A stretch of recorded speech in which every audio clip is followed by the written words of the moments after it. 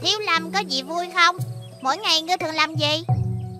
Tụng kinh Luyện võ Giúp sư huynh quét dọn sân Học Phật Pháp cùng các trụ trì. Ờ Không vui chút nào. Vậy ngươi thường làm cái gì? Ta làm rất nhiều việc. Giúp tí sư thúc sửa sang giáo trình Làm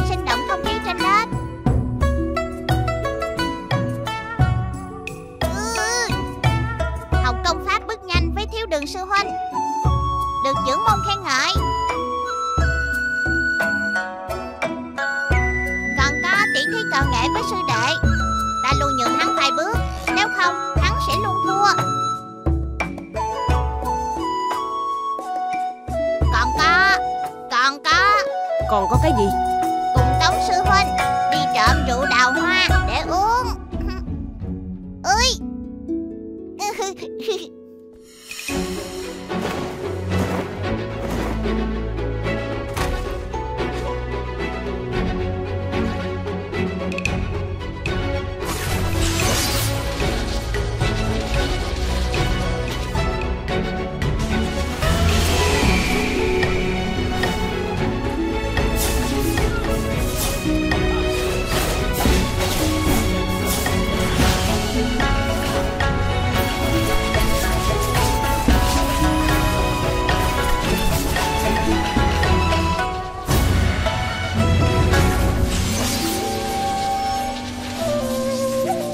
Nhất mộng giang hồ tải ngay tại App Store, Google Play và PC.